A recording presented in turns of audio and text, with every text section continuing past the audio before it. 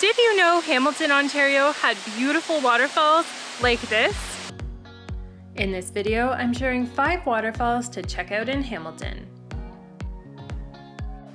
If you're in the Hamilton, Ontario area, then you definitely need to come and check out some of the waterfalls that are in the surrounding area. There are so many to choose from, and we're gonna show you what some of them look like here in Hamilton.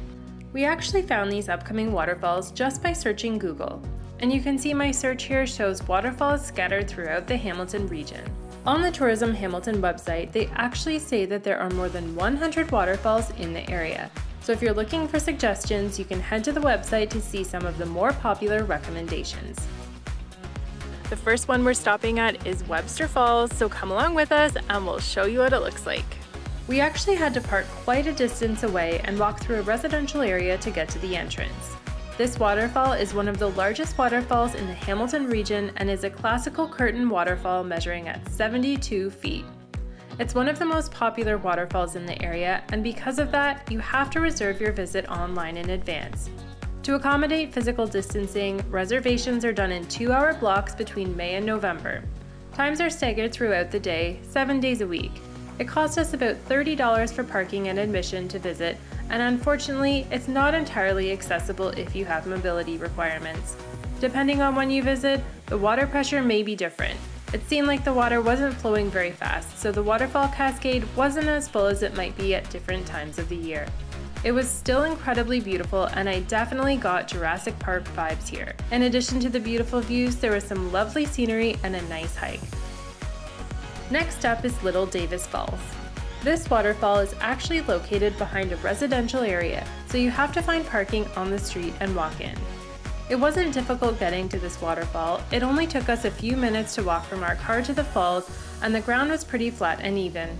This waterfall is approximately 10 feet tall and 18 feet wide and is considered a twin curtain falls. The thing I liked most about this waterfall was that it wasn't busy and you can actually get right up to the falls. When we arrived, there were two visitors just leaving, so we had the whole place to ourselves for about 15 minutes before other visitors arrived. Definitely add this to your list.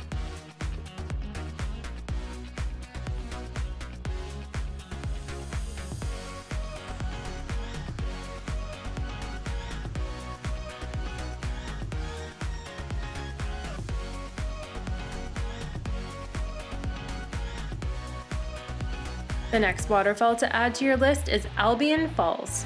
This waterfall is a cascade style waterfall and is about 60 feet wide and tall. Parking is free at this waterfall and the lot is very large, so it was easy for us to find a spot when we arrived. But if the lot is full, there are a few additional parking spots nearby. The waterfall is located on the side of a busy road, but there's a sidewalk you can walk along to get an up-close view from the top of the falls. There are also a few different viewing platforms at the top, so you don't even need to hike to see this waterfall.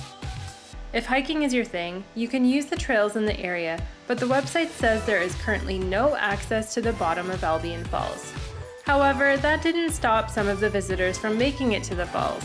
While we were there, numerous visitors were climbing into the falls and there was an officer there with a loudspeaker telling them to get out of the area. Definitely check out this waterfall if you're in Hamilton. Smokey Hollow Waterfall is my next recommendation. This waterfall goes by a few other names, including Grindstone, Waterdown, and Great Falls.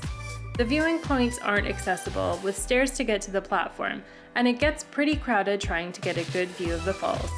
It's definitely not the biggest waterfall in the area, at approximately 30 feet tall, but it was quite powerful with fast flowing water compared to some of the others. On the Hamilton Tourism website, it says that there are some great hiking trails that lead to this waterfall, but I also read that there are some pretty steep stairs along the trail.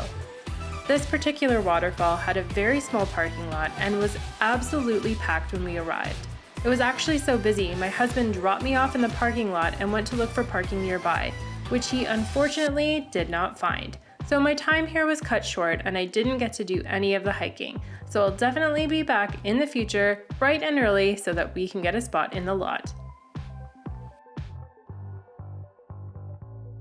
We are now going to Dundas Peak and Tew's Falls. Hamilton area has so many waterfalls. We didn't even know about them all, but apparently this one is really popular. You have to reserve it in advance as well. So we have a two hour window to go and explore Dundas Peak and Tew's Falls. So come along with us and we will show you what it's like. Tew Falls may be my last waterfall to share in this video, but it's definitely my favorite. The round trip loop from the parking lot to the falls and Dundas Peak is just under 2 kilometers, but is a beautiful hike through the Niagara Escarpment. Tew Falls is the tallest waterfall in Hamilton at 134 and a half feet tall and is a ribbon style waterfall. Because of the popularity of this waterfall and Dundas Peak, you have to book your visit online in advance, and reservations are rain or shine. With your reservation, you get two hours to complete the loop, and even going at a leisurely pace, stopping to take tons of photos and video, it took us about one and a half hours. Not all parts of the hike are accessible, and there are stairs that lead to the viewing decks for the falls. The good thing about making your reservation online is that you don't have to worry about parking. There was plenty of parking available when we arrived, and there were even porta potties on site if you needed to use them. I definitely recommend visiting Tew Falls and Dundas Peak if you're heading to Hamilton.